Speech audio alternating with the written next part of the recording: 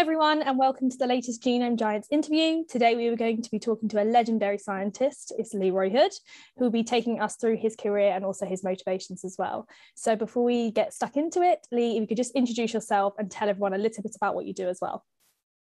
Uh, I'm Lee Hood. Uh, I'm at the Institute for Systems Biology, and I'm just starting a new nonprofit called Phenome Health, which is all about uh, precision population health. I suspect we'll talk about that later. I think my main passion in life is uh, science reading and exercise. So, with that, I think we can get started. Yeah, it's good. so, you were born in Montana in 1938. What are some of your fondest memories growing up?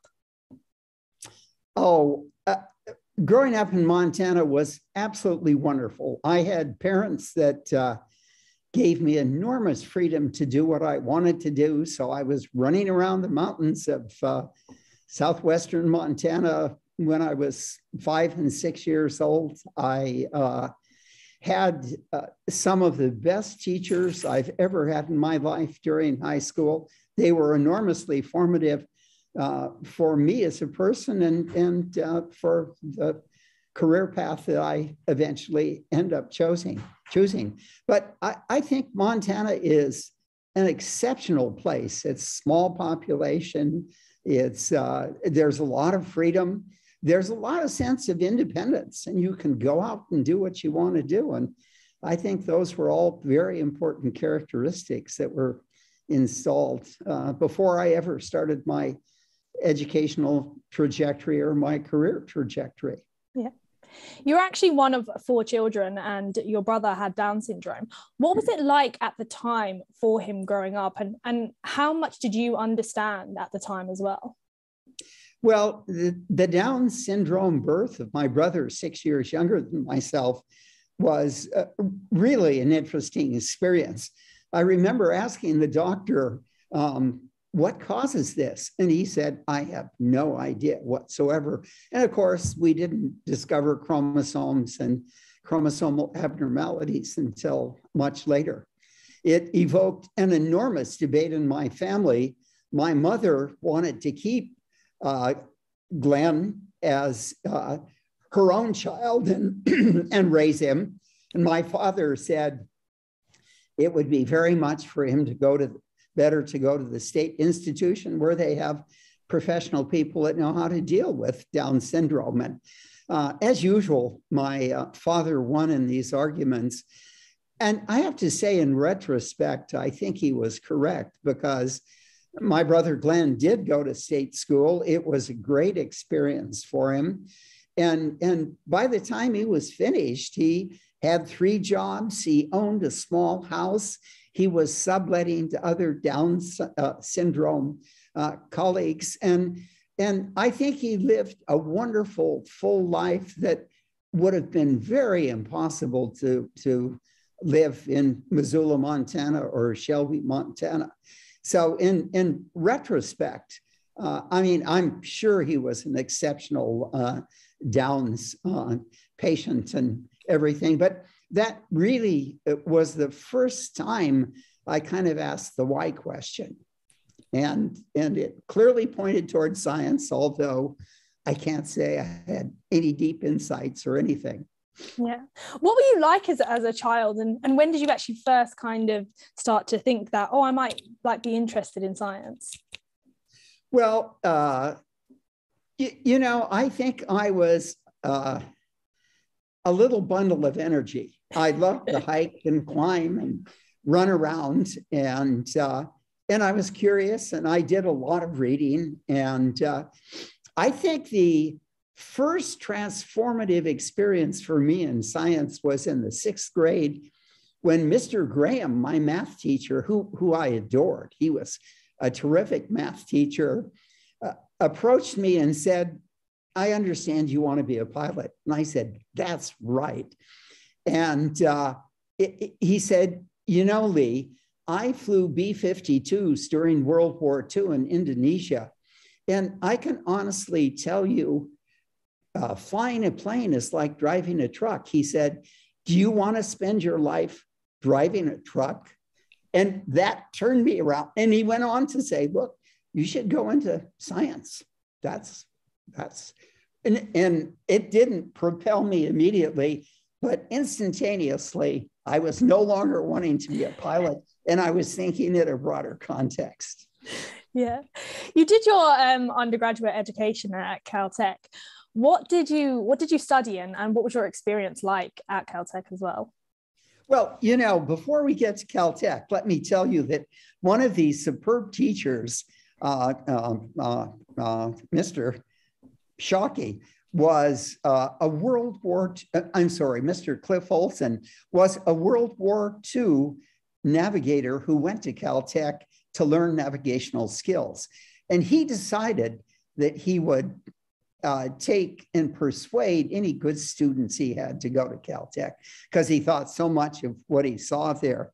So my junior year, uh, uh, uh, Cliff Olson approached me. He was my chemistry teacher. And he said, Look, next year, would you help me teach biology to the sophomores? And I said, I'd do it if, uh, if I could use Scientific American to teach from. And he said, Okay. So uh, I went and ended up giving a lecture on a series of lectures, probably 10 in the course on various topics in Scientific American.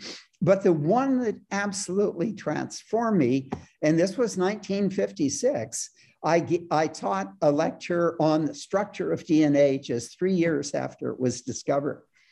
And I remember thinking, this is an incredible molecule. And if it's the center of biology, that's where I'd like to go. And at that same time, Cliff came to me and he said, Well, if that's what you want to do, you should go to Caltech.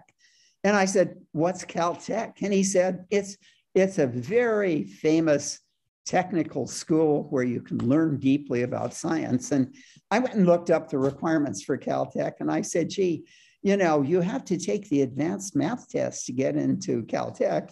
And it's all about calculus. And I haven't had calculus. And he said, ah, don't worry about it. He said, just take the test, you'll do fine. You know, today we would have gone out and you'd have read a book and you'd learned calculus in the month or two and all of that kind of thing. That wasn't how it was in those days. So, so anyway, I where I really wanted to go was uh, Carleton in Northfield, Minnesota, because it was a small liberal arts school and I loved kind of everything I'd read about it. And, and anyway, I took the advanced math test. I'm quite confident I got one of the lowest scores of anybody that ever gotten into to math. And in fact, I had one of my teachers in later years tell me that, uh, that uh, my math score led them to predict that I would be at the bottom of the class. But anyway, I got in and uh, ended up going to Caltech rather than to Carleton. And it was wonderful because it gave me all the basic tools I needed for science. I mean, lots of math and lots of chemistry and lots of physics. And, and besides, I had two of the most inspirational teachers I've ever had there. So one was Linus Pauling. He wasn't then at Caltech, but he came back and gave uh, freshman uh, chemistry lectures. And the other was Richard Feynman, and I was in his freshman class as he was writing this classic trilogy of physics books. So he experimented with us in all sorts of ways. And, and both of them were enormously charismatic. They believe that you teach in simple, easily understandable ways. And, and they were kind of infinitely uh, aspirational. And those they set the standards for how I thought teaching should be. And that's what I aspired to. I can't claim I came close to any of that, but it was, they were wonderful models for thinking about how to communicate to people. It was even broader than just uh, uh, teaching courses. But Caltech, I got to play football. I played football in high school and been a quarterback, and our team had been undefeated my last three and a half years, and he'd won state championships. And so at Caltech, you know, I mean, it was my high school football team would have destroyed Caltech's football team. There is no question. But it was a chance to get out and get exercise and do something besides uh, study all the time. And I sang in the chorus. And so I did a, I was a class president. One, so I did a lot of different things. And Caltech was just a terrific experience for me. I took a lot of humanities because I always felt having a grounding in uh, culture and history is, is uh, it's a, a really important context for communication and thinking about teaching too. So anyway, Caltech was all good except for one thing. And I had decided, partly as a result of my brother and a whole series of things, I was really interested in human biology. But we had almost no higher organism biology at Caltech. I learned about microbes and I learned about uh, uh, cell lines and all sorts of different things, but I didn't learn about people. So I decided, since I really was interested in studying human biology and later human disease, that I had to go to medical school. And uh, so I uh, talked with all of the faculty about where I should apply. So I only applied two places, Harvard and Johns Hopkins. And then, then it was a big debate, and different faculty members had very different motivations and, and arguments. But what really convinced me to go to Hopkins was if you wanted to do something that was non traditional in medicine, and I never wanted to practice, I wanted to get the background so I could go back and get a PhD and learn how to do research. And then I was going to do human biology research. So uh, they had an accelerated program where if you went in the summers, you could get done in a little less than three years. So I chose Hopkins and I got done in, in uh, three years. So that's, uh, but Caltech was just a wonderful first step into science. You returned to Caltech after John Hopkins and you did your PhD there as well. Why did you kind of decide to go back and, and what did your PhD actually focus on in, in the end? Well, you know, I looked at, well, three or four places seriously. I looked at Stanford very seriously. I did look at Harvard biochemistry and uh, in the medical school. Uh, and, and I looked at the University of Colorado microbiology, and they all had really attractive features. But what really convinced me about Caltech was it had a real technology bent. And I was convinced even then, before I'd started doing all this technology, that, that a part of the solution to human biology was going to be able to make measurements faster, better, cheaper, those kind of things. And Caltech seemed to have the grounding in excellent engineering and chemistry for doing just that kind of thing. So, I, in fact, I remember going to the chairman of biology and saying, Look, Bob Sinsheimer was his name. He was really a great scientist. And I said, Look, Bob, Stanford has offered me 20,000 and you have only offered me 15,000 a year. Do you think we could make any modifications? And Bob Sinsheimer said, no plea. I think you're just going to have to make a decision. So anyway, that was that was Caltech. And I started at $15,000 a year and it was an absolutely wonderful place again for me to grow up in science for lots of reasons. I will say before that, though, at Hopkins, I, I again had a wonderful experience.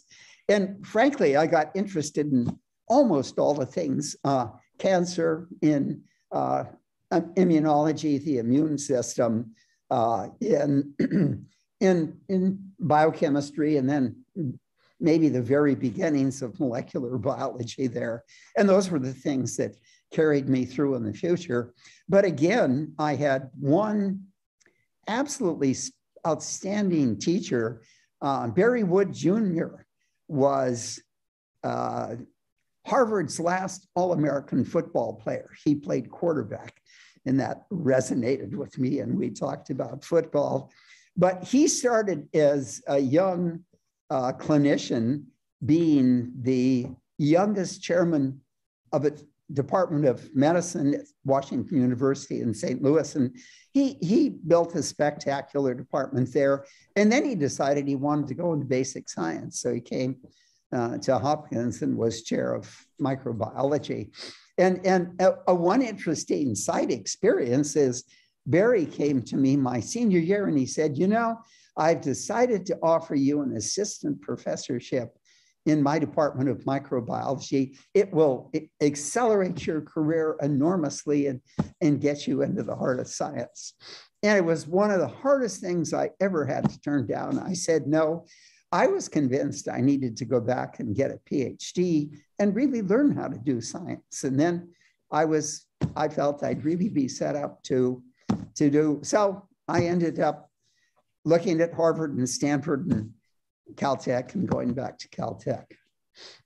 So after your PhD, what was your kind of early career like and what were some of the earlier challenges that you faced during that period?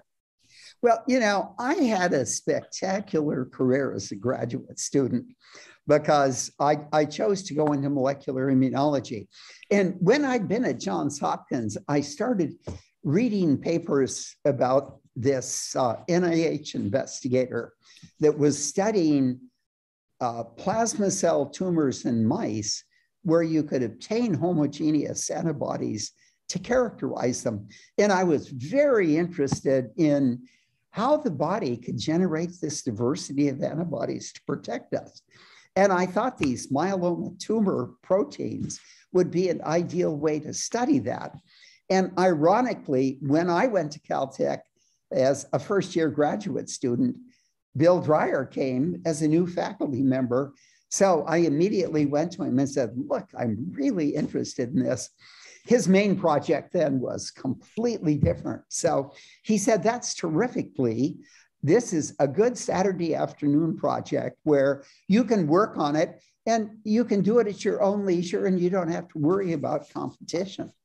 So I was really excited and I learned how to make these plasma cell tumors in mice, and I learned how to purify the antibodies, and I learned how to do uh, manual protein sequencing. And, you know, my first year, I had some absolutely spectacular results. And in my sophomore year, I was giving lectures at Berkeley and UCSD. So I was in the fast track as a graduate student and really stayed there the whole time. It, it was just the most wonderful uh, start to my career. And, uh, uh, and you know, it was my, my mentor was not a hands-on person, but he was a great theoretical person. And we used to have really fascinating conversations. And uh, over the, those years I was with him, he really taught me two things that, that guided my career. He said, look, if you want to do biology, be at the leading edge. He said, don't be a librarian just doing what people have already done before in more detail. He said, go out and carve out your frontier and, and, and set the pace. And so I did that in molecular immunology, and it was really an exciting 20, 25 years of my career. I followed all the way through from characterizing proteins, getting into molecular biology, and isolating the genes for all the immune receptor families, discovering all sorts of things. It was great. I mean, uh, back at NIH and then back as a faculty member at uh, Caltech. But the second thing he said to me really had a big impact on me too. And that was if you really want to change a field, envelop, invent a relevant technology that can give you a new window into its biology. And, you know, and, and Bill Dreyer did that in uh, several instances. He was one of the first that saw the power of fluorescent antibodies. He was one of the first that pushed the uh, then classic method for doing uh, quantitative analysis of amino acids and everything. So anyway, he was a mentor that wasn't interested in hands-on, but he was really interested in theory, and he was terrific for me. I mean, you yourself have been involved in the development of some groundbreaking instruments, and I've had to write them down because it's a long list. So these include a DNA synthesizer, a peptide synthesizer, the first automated DNA sequencer, an inkjet oligonucleotide technology, and nanostring technology. And I got one more. You forgot oh, automated oh, no. protein sequencing, uh, which is the first instrument I worked on, actually. How? How? what was that kind of what has that kind of that whole journey kind of been like for you and how have the kind of skills that you developed early on kind of helped you with those developments well i'll, I'll tell you when i went back to caltech again i had uh, a firm uh, a handle on molecular immunology and that's what i was going to do I'd, I'd really gotten into protein chemistry very deeply and I wanted to be able to actually make it hundreds of times more sensitive than it was at that time because there are a lot of really interesting proteins that are available in small amounts. And I saw that if we could uh, increase two or 300 fold the sensitivity of sequencing, we could transform fields.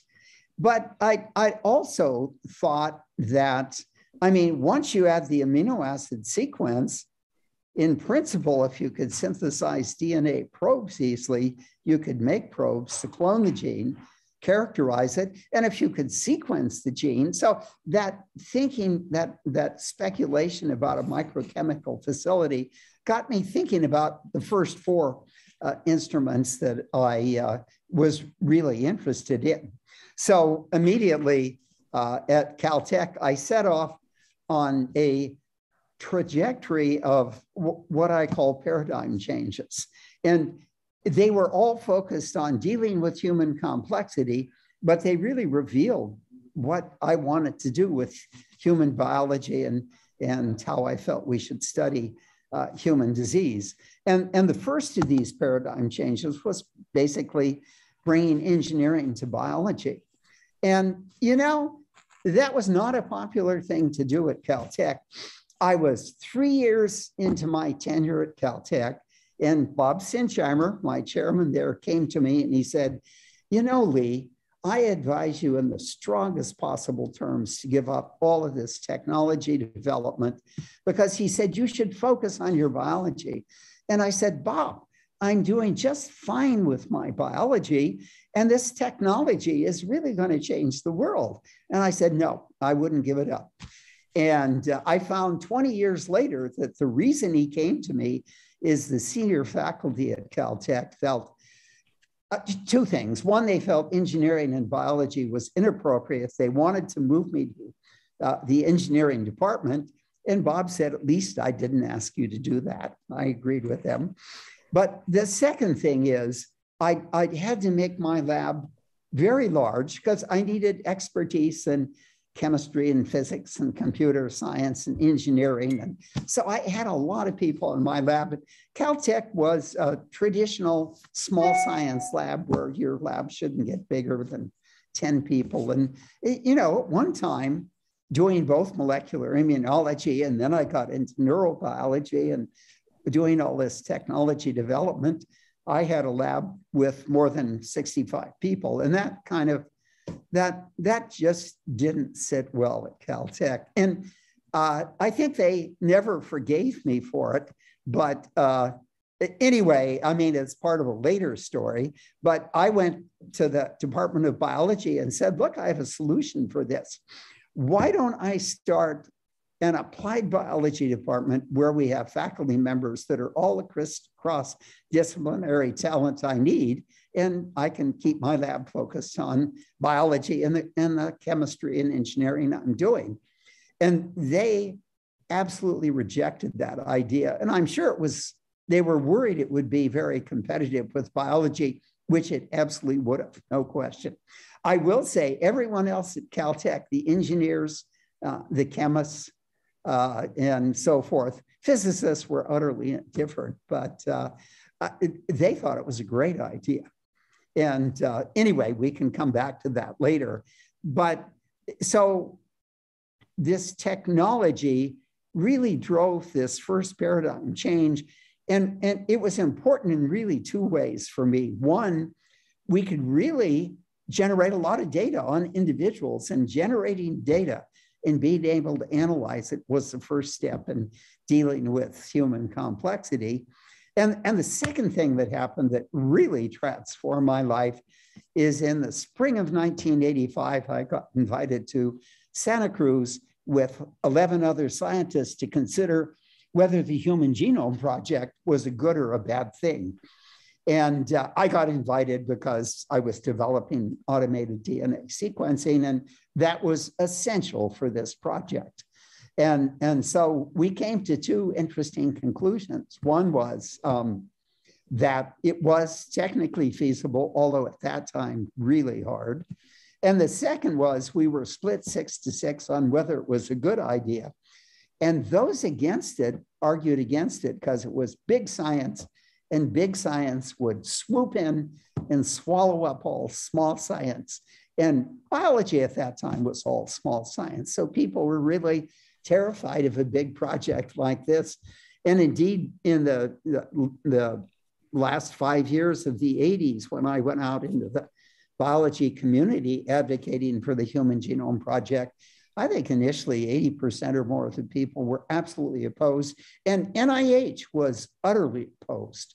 And they argued we don't need it because we're putting $300 million into genetics a year, and uh, genetics is better than genomics. And of course, they're apples and oranges, they're not related. You can't make comparisons like that.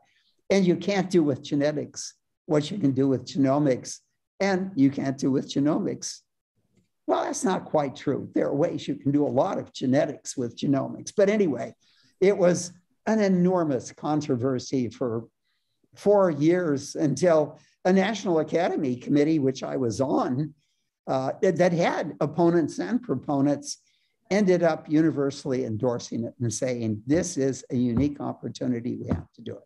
And then NIH turned around in a microsecond and, and they played an important role in uh, obviously the development of the Human Genome Project.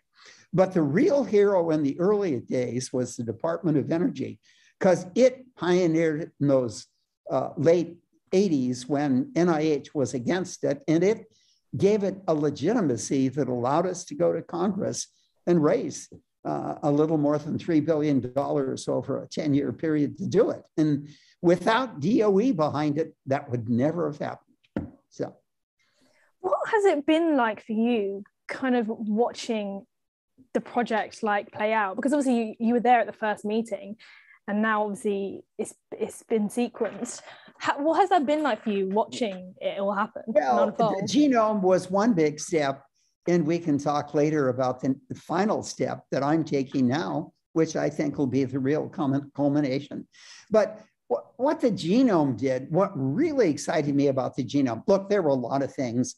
A, it transformed virtually every field of biology because you could get the genomes of all these organisms and you can do science in different ways and it transformed molecular evolution in a major way. But what I loved was it gave you access to human genetic variability and to correlate it with wellness and disease phenotypes. And that's those are very powerful tools. And how do you think kind of the sequencing field has evolved and, and what do you kind of see happening in, the future as well? Well, look, uh, the sequencing field has had three giant steps, the automated DNA sequencing field. Look, the first giant step was Sanger inventing how you do dideoxy sequencing, and that really enabled its uh, automation. And uh, I mean, an interesting story is we started out trying to automate the alternative, Maxam Gilbert sequencing, and really failed for reasons that are totally obvious now. But when we switched to dideoxy, it went beautifully, and we were able in three years to develop a, uh, a prototype instrument. But um, you know, I think what really excited me about the Genome Project is th- that you could do big science. You could put together large amount of money and you could push the technology, you could push the computational tools, you could push the sequencing technologies. And of course, what the Genome Project did was catalyze the initiation of seven orders of magnitude uh, decrease in cost and uh, increase in throughput at DNA sequencing. So the first automated uh, DNA sequencer was the one we invented, the, uh, that did classic Sanger sequencing. And the second stage of DNA sequencing was something that really George Church pioneered when he essentially parallelized sequencing so you could do a million sequences at once, although they had to be very short reads. So that second generation, uh, highly parallel short read sequencing, and that's what dominates today. And uh, maybe uh, 10 years ago, the third field started to emerge, which is single cell, uh, single molecule sequencing. And there are instruments out there that can do it beautifully. But in the future, the advantage of single molecule sequencing is you can get very, very long sequencing reads. So as we do each human genome, you'll have all the information you need to, to assemble that genome independently of any other uh, imperfect comparisons. So I think the, the third and final generation is going to be uh, really uh, this single molecule sequencing. And I think the cost of sequencing, I can see the cost of sequencing coming down to 10 to $20 uh, a whole genome sequence done. I can see the throughput uh, increasing to whatever you want to increase it to. So it'll be, and, and, and, and you'll be able to very automatically go from the data to a fully assembled sequence that's quite accurate for each individual. So anyway, that's how I see sequencing evolve. But you know, in technology, nothing has been more impressive than the 10 to the 6th or 10 to the 7th uh, uh, decrease in cost of sequencing and uh, increase in throughput and so forth. It's, it's really been spectacular. And in fact, what we need to do is really push the same kind of transformational technologies with protein analysis and metabolite analysis and lipid and all, all of the other molecules that are really important to analyze in the future. Yeah. As you were, we were kind of talking about earlier, in, in 1992, you um, founded the first cross-disciplinary um, biology department in uh, University of Washington. How did you manage to convince them to set up this department?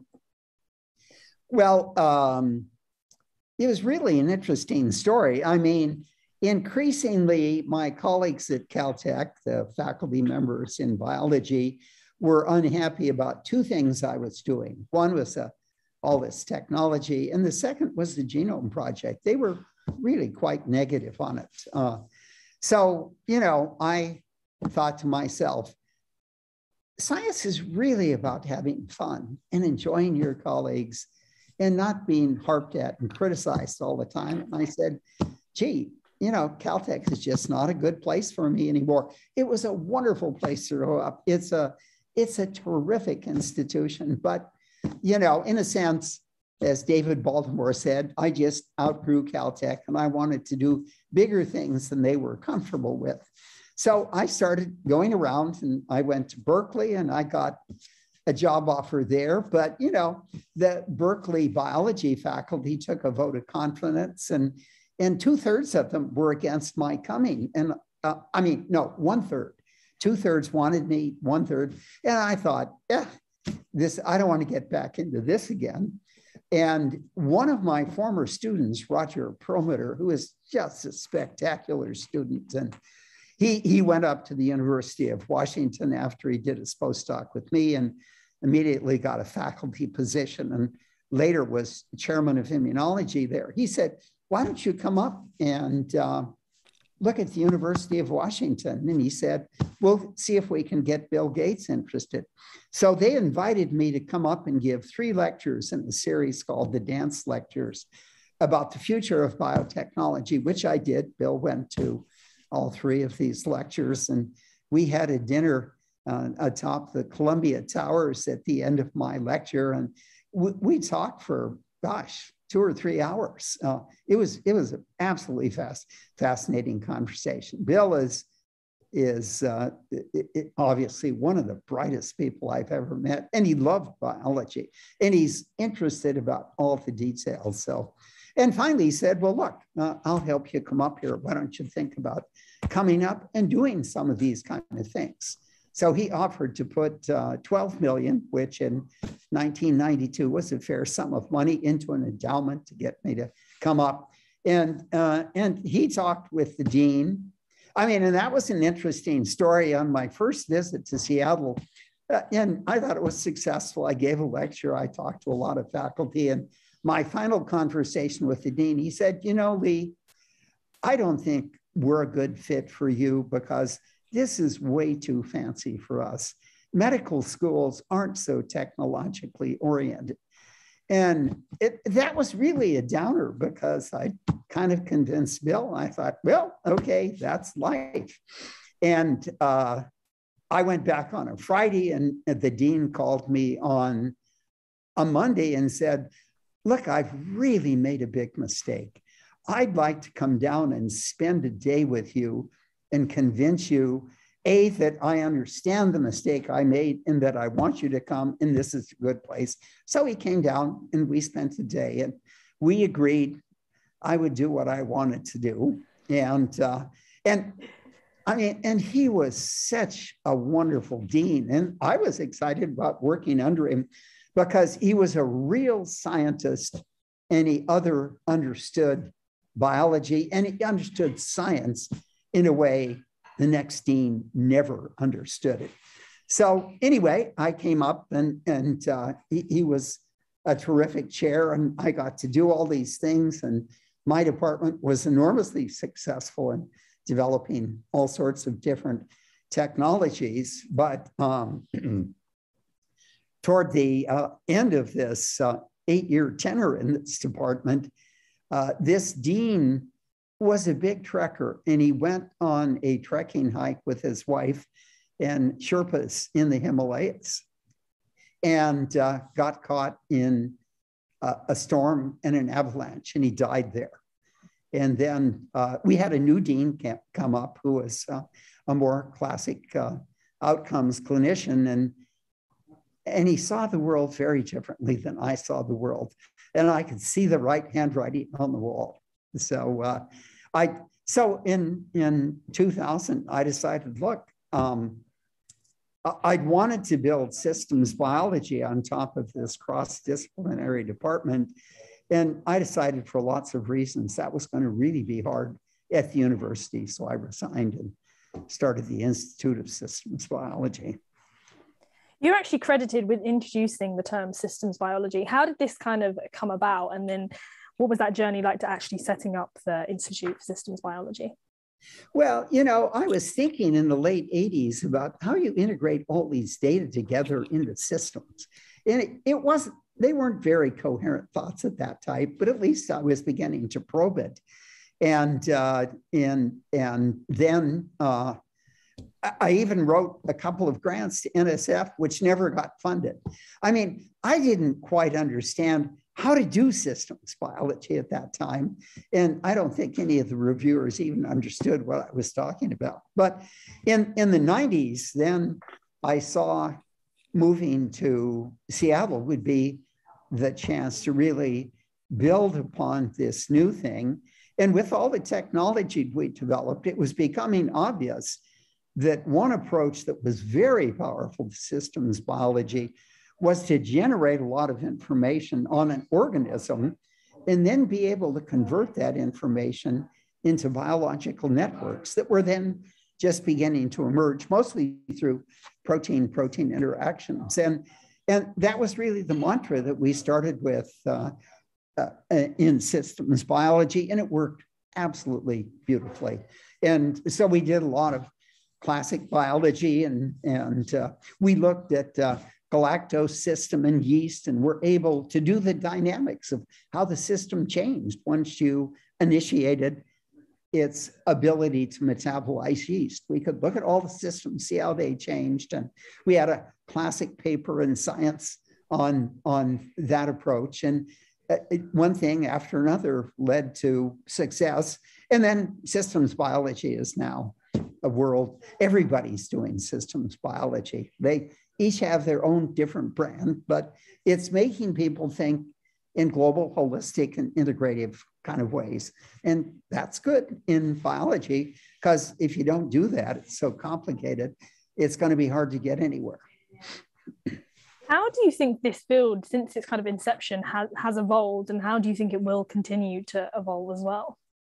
Oh, I think it's evolved by bringing in all sorts of new technologies. See, what, what we what we really stressed in the beginning, and people are just now becoming to realize, is that what you need to learn systems is to study the dynamics and see how the system changes. That's the only way you get clues to it. And what I've seen is that has been adopted, and new technologies that are revolutionary have been adapted. I mean, imaging technologies that can let you see the brain down at the molecular level and how it's changing, or a small organism like the zebrafish, looking at different organs and seeing what's going on with regard to metabolism. So we, we've gained the tools, we've gained the insights of uh, dynamics, and we've developed very powerful computational tools for analysis, uh, integration, uh, visualization, and for creating computational models that you can hone to approach reality that then can make very powerful predictions. And, and one example of this is a technology called di digital twins that's being used for human diseases in very striking ways, cancer and uh, Alzheimer's. So the field has evolved spectacularly well. And, uh, you know, it's, it, anybody, it, it's like molecular biology was 25 years ago. Molecular biology was an enormous leap up from bi simple biochemistry. And, and uh, systems biology uses all the tools of molecular biology, but it brings the integrative and dynamic view that makes it a reality of translating complexity. One of the things that you're currently working on, which you, you mentioned earlier, is the Phenome project. What exactly is this project and, and how did this, this project come about as well? Well, uh, in the uh, in in the mid-teens, about uh, 2014, I decided we developed enough technologies, we and others had developed enough technologies that we could begin to look at human populations and for each individual get a lot of data and make predictions about wellness and disease. And uh, I started a pilot project on this in 2014, where I persuaded 108 of my friends to submit over basically a year to uh, three different uh, kinds of analyses where we looked at uh, 1,200 blood analytes, proteins, metabolites, clinical chemistries. We did the gut microbiome. We used a Fitbit for digital self and, and blood pressure measurements and other kinds of things like that. And we did the whole genome sequence of each of them. And we developed the tools then to begin integrating these data together. And from these data analysis and integration came a whole series of what we call actionable possibilities. That is, these were possibilities that an individual could do. Uh, and if doing them, uh, if they did them, they would either improve wellness or avoid disease. And we, over a period of a year, generated uh, probably 50, 60 of these. And each individual was different in what they needed and what they had to do. But it, it really validated what we call uh, quantitative or, or scientific wellness, as opposed to just diet, sleep, and uh, exercise. And those are important, and they were a part of what we did. But more, it was bringing appropriate equilibrium to the blood because they assessed all your organs. So you could fine tune many different things from the blood and, and looking at your gut microbiome because it has an enormous influence on the brain and many other things we're just beginning to understand. So this program was successful. We started a company called Arivale that over a four-year period gathered together 5,000 clients uh, to bring them scientific wellness. And we created during that time these longitudinal data clouds. So we did their genome again, and then we did what we call the phenome analysis. That's, that's all the other measurements beside the genome, basically. And again, the Arivale program pushed us up to more than 200 actionable possibilities for wellness, and, and, and people loved it. It wasn't financially stable. We really needed to bring in doctors. Those were the two major changes that had us shut it down in 2019. But from those data, we learned we validated scientific aging. We learned how to make a metric for wellness, and, and, that the younger you are in your biological age, the better you're aging. And, and so now we have a metric we can use to assess people and how well scientific wellness is doing. So, anyway, when Arivale failed, I got asked to come in 2017 uh, and become the chief science officer at Providence St. Joseph's, where I've been for the past five years. And I started this big project, which we've now come be, called Beyond the Human Genome Project. And the idea is to increase over Arivale's 5,000 individuals by 200 fold and do the same thing for a million people uh, over a period of uh, 10 years. And again, we would bring in scientific wellness, we would bring in healthy aging. We, we, we've been able to demonstrate that you can calculate genetic risk for almost 100 different diseases. And knowing that if you're at high risk for uh, particular diseases, we can follow you and catch the earliest transitions and reverse them. But most interesting, we were able to show that over the four year period of these 5,000 people in Arivale, we saw 167 transitions from wellness to disease and included all the chronic diseases.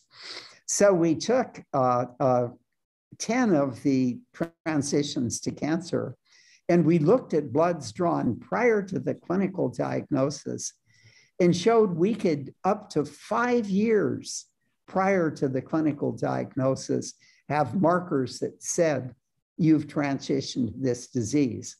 So we're going to use those to reverse the disease at the early stage and prevent you from ever getting the disease. So what this uh, Beyond the Human Genome Project is all about is the science of wellness and the science of prevention.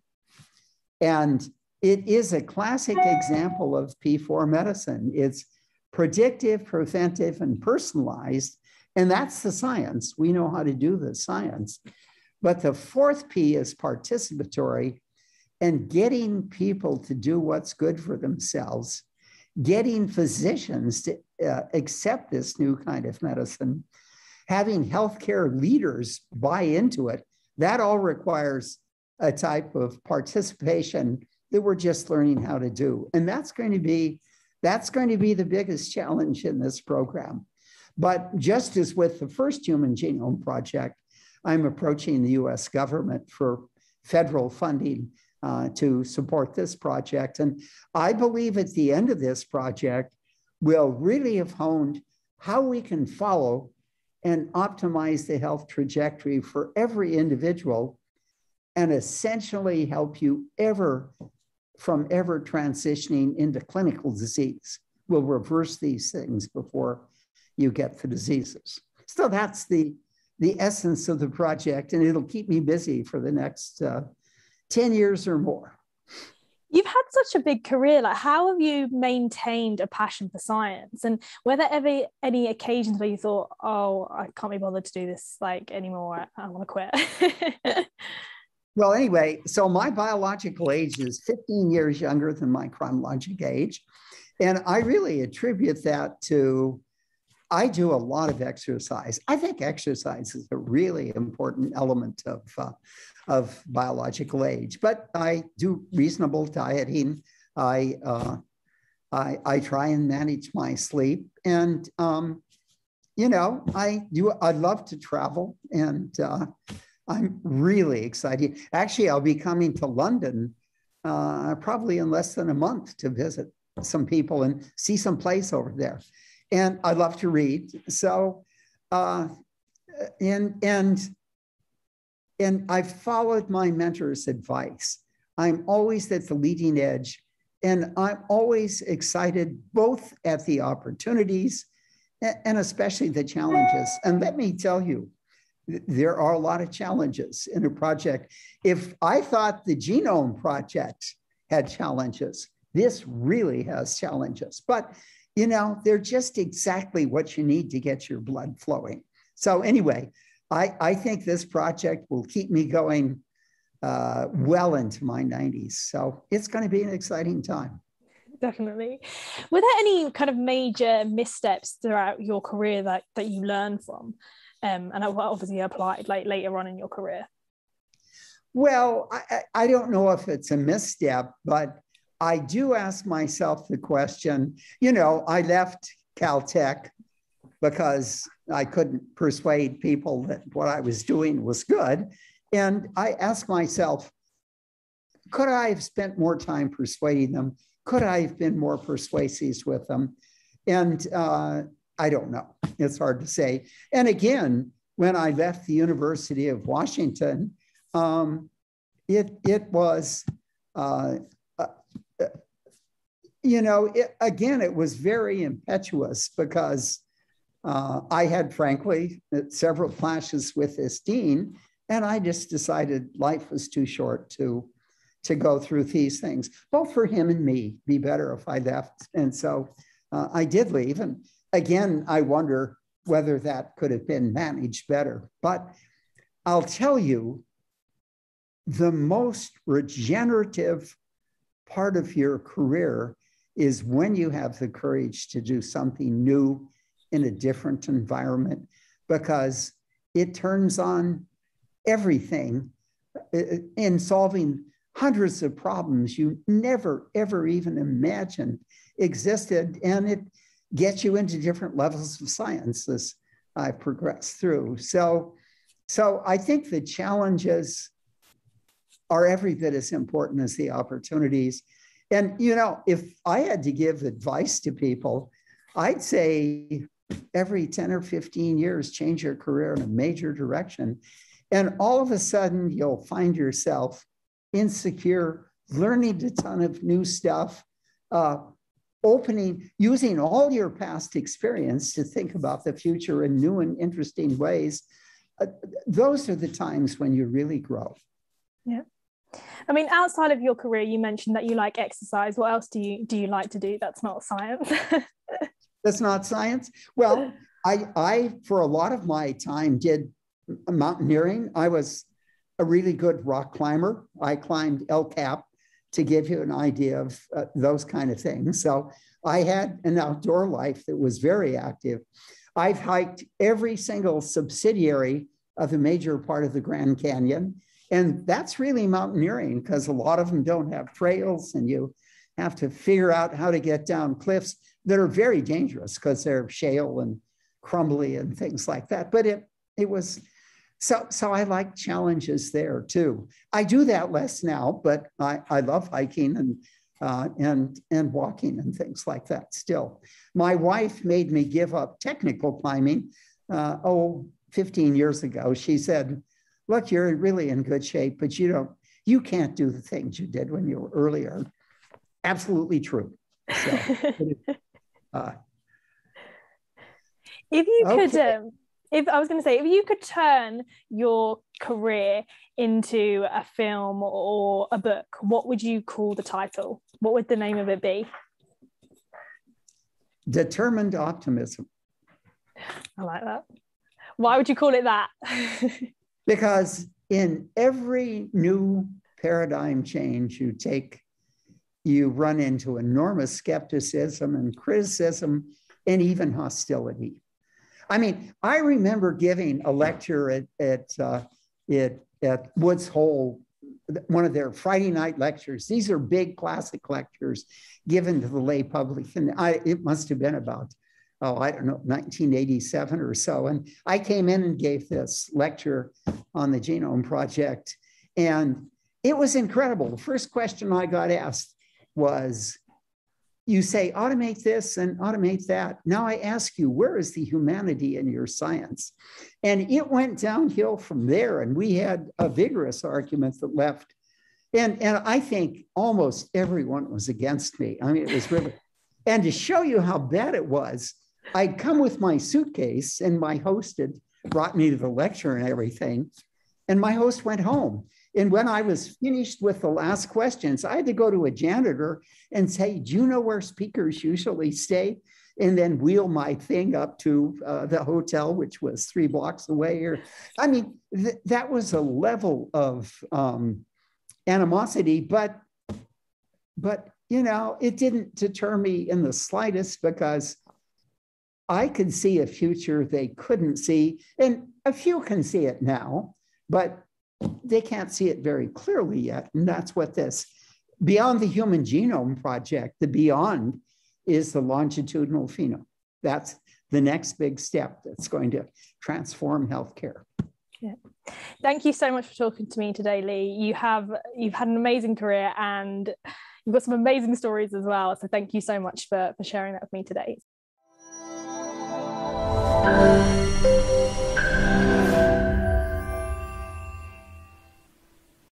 Hello everyone, if you enjoyed this video, then make sure you check out some of our other videos in our series by subscribing below or going to our website, frontlinegenomics.com. I hope you enjoy.